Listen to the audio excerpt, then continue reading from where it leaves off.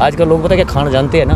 खा लेंगे, मगर बाद में उल्टा होना है एक रात में इनका विश्वास नहीं होता है। ना, मैं तो बोला नहीं, मैं तो मैं इसलिए बोल रहा हूँ, जो पब्लिक का यह कहना है, जो पहले कांग्रेस में थे, बीजेपी में क्यों चले गए तो कांग्रेस में रहते तो कांग्रेस में रहना था। लोग तो ये सोच रहे सुक्खू है। तो सुक्खू, उसको बोल रहे हैं नरेंद्र मोदी, प्रधानमंत्री नरेंद्र मोदी को बोल रहे हैं तो उसको भी ठीक बोल रहे हैं।